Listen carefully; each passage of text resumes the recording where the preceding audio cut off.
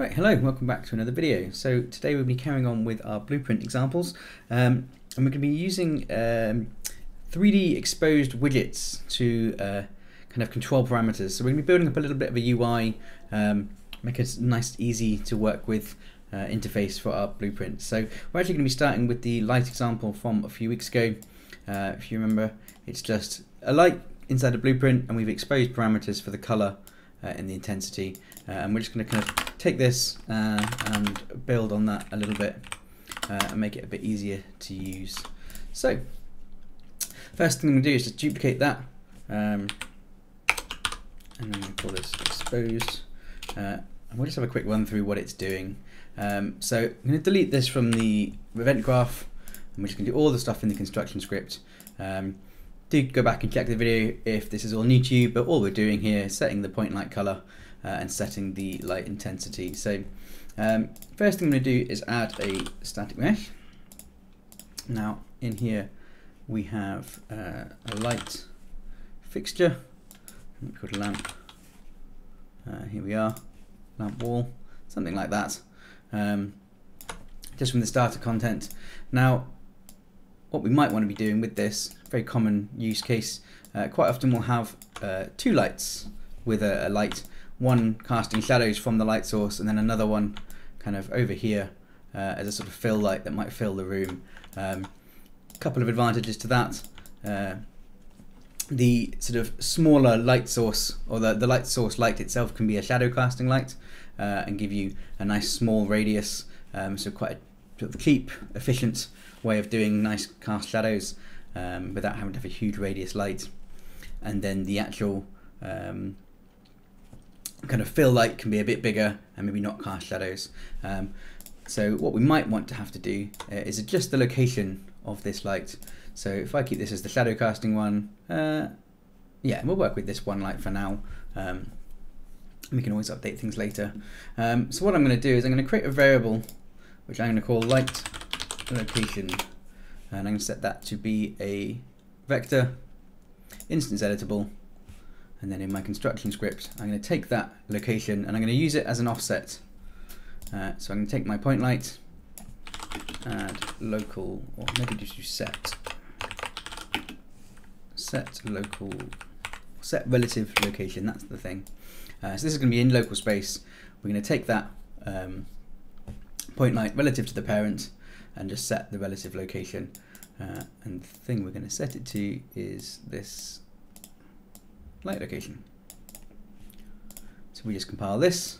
If I come to my um, my blueprint in the scene, it's not that one, that's the old one. This is my new one. Um, and we've now got this uh, exposed parameter and I can change my offset um, which is nice and handy. Give it a little bit of something in Z, and you can see here we're getting those shadows, um, whatever we need to do.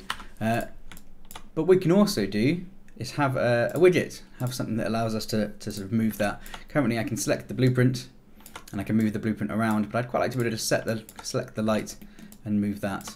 Uh, and so we can. Very simple thing to do. Just take our light location. Uh, any of the vectors or any variable types that are set to vector, um, we can change to have this thing here. So show 3D widget. If I enable that, it's just going to give me a little um, handle with a name, um, which lets you do exactly that. Set my local uh, light position. Um, which is really cool, make things very easy. Now one thing we might want to do with this um, for location, that makes sense, but we might want to also kind of like add one for, let's say, the radius. What if I go back into my blueprint, variables, uh, and let's say light radius, uh, make this instance editable. If I set this to be a float, uh, we don't have a value for um, for expose widget. Something we can do here, show 3D widget, something we can do on a vector, but not on uh, a light radius, or sorry, light not on a float. Um, so actually we're going to keep this as a vector, uh, and all we're going to do is take our, our light radius value, we're going to break that out into three, and we're just going to use the x component. Um, and so effectively, if I go into my thing, turn on 3D radius, right, radius. Um, so how far we move it along, it's with the x-axis I said, wasn't it? So let's use y, sort of horizontally. Um, how far we move it across here is going to give us the radius of our light. Um, so if I take my y, and reference to my point light, set radius, uh, it's called attenuation radius is the one. I'm just going to take that y distance.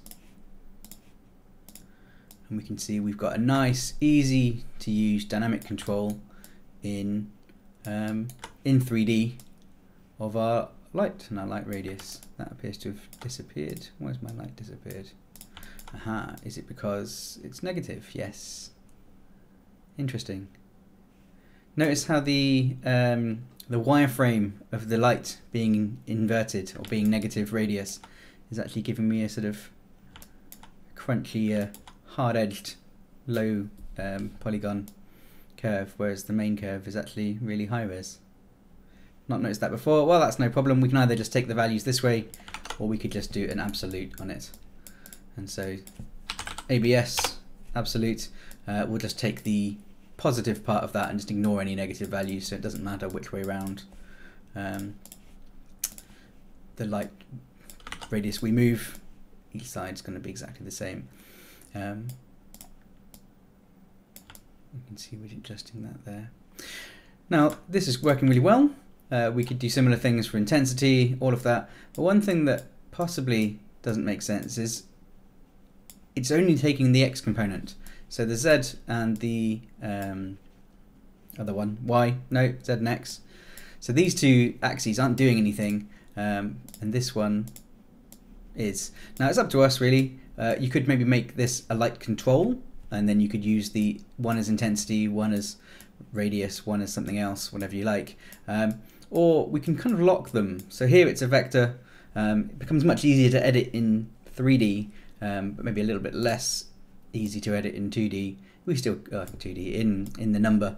Um, we still can go in here and scrub this, obviously. So what I might do for something like this uh, is just fix the other two values that, uh, and just set them to be zero within our, uh, our blueprint. And that's actually really easy to do. So first things first, in the construction script, I might create a new section here. And all I'm going to do is take that light radius value. I'm get and then set light radius. Set it to be itself. Well, that's not what I want to do. If I just break this, split, and split, I'm going to take the y value and just plug it in back into itself. So we're keeping the y data because that's the one that we've set up to do anything and we're just forcing x and z to be zero. And now if I go back into the world, I won't be able to move along that axis because anytime I do, it's immediately getting reset back to zero. So um, little sort of usability step you can include if you like. Um, and so now we can go in and set up our, our lights however we like and set up little controls, 3D widgets, um, give ourselves a lot of nice control. Um, and we can do it here as well, obviously we can adjust this that way, but sometimes it's nice to use a, a 3D uh, widget to do this. Um, let's do that again. Uh, maybe take this light intensity, currently setting there. Well, if I delete it from the blueprint, this is now not in use anywhere. Let me just check. Oh, that's radius, that's not what I wanted. Light intensity, because it's now not in use anywhere, I can change its variable type. Set that to be a vector, and I'm going to not expose, sorry. I'm going to show 3D widget. Um, and then I'm going to do the same thing here. And what I might do, if I just create a sequence node, keep things nice and neat and tidy. So my sequence, I'm just going to do this thing first. Second thing I want to do is set light intensity. That's a function. I want to do set this. Here we go. And I'm going to set it to be itself. But in this case, I'm just going to use the x value. Uh, if I split this. So now, not x, let's do a z. Uh, let's do that. Here we go. So now I'm going to have another um, 3D component In this case, I've got a light intensity component, and how high it is is going to be how bright our light is. So I'm zeroing out the X and Y because I don't want those to do anything. And what I might do here with my sequence, add another pin. So the first thing I'm going to do is sort of control my variable um, parts. And you can obviously add more in here if we need to, as long as the last pin here is coming to our actual code. Um, and I might just neaten this up, put some reroute nodes in, just double clicking on a line. There we go, make this nice and clear and easy to read. Always keep your code as, as easy to read as you can. Uh, I'm just fiddling now. There we go. Um, so we're going to zero out the, the data we don't need just to keep those UI elements where we want them. And now take the, the Z height and then we're just going to take our new intensity and we're going to set that to be our light intensity. Get light intensity. Now if we just set this directly, again this is a uh, vector so we need to split out and only use the Z value because that's what we, we set. Um, it's not going to give us very much visually because the values, the range of values is, is no good. If we set this up to like 5,000, 50,000, it works, but it's well off screen, no good there. Um, so we just need a multiplier. So if I set that to be maybe, I don't know, 50, something like that, let's have a look. So about 200. So if I multiply it by a thousand, good starting point maybe. Let's say 5,000 maybe, because we're not dealing with any accurate numbers here necessarily. We're just looking for a nice visual way to be able to control our light intensity. And now we've got a nice control, maybe too high. Let's do 1,000. Here we are. So we can place our light, we can move where the light is, and we're directly using that location, and we can also grab the radius and intensity pretty cool. I wonder, just sort of thinking out of top of my head here, uh, it might be quite nice if the light intensity sort of slider or 3D widget stayed on top of the light location 3D widget. So we should be able to do that though. So rather than setting these to zero, we're going to set them to be the location. Is that going to work? Mm, yes, maybe. Uh, let's test it out. So we get the light location split this and plug the X and Z in from there and then the X and Y in from here. What does that look like? And there we are.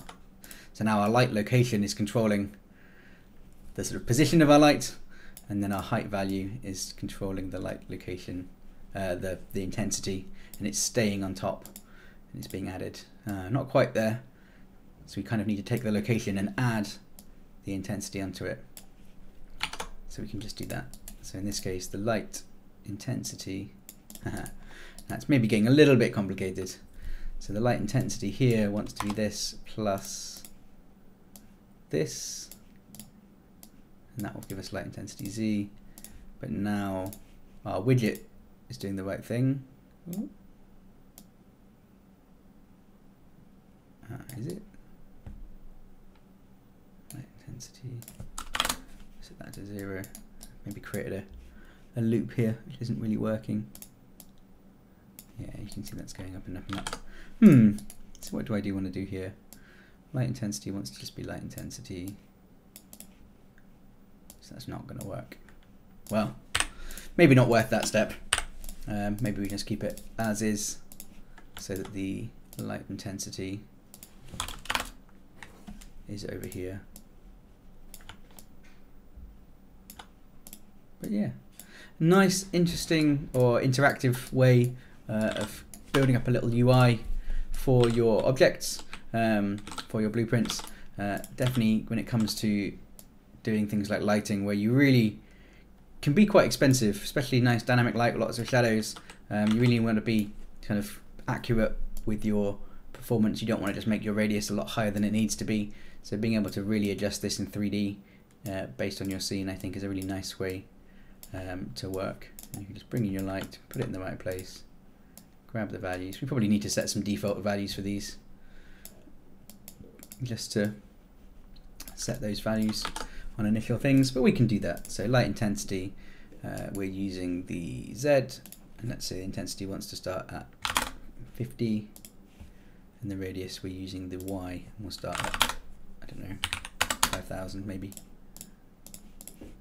and just see how that works now. If I bring in a new light. Here we are. Oh that radius is huge. That radius. 500 there we go. Cool. Um, do give it a go. Do try it out with your blueprints. Uh, definitely a nice little um, say interactive way of doing things. Uh, and as always uh, if you have any questions or comments or anything you'd like to see on the channel do let me know. Uh, and a big thank you to all my patrons for supporting the channel. Um, and I will see you all next time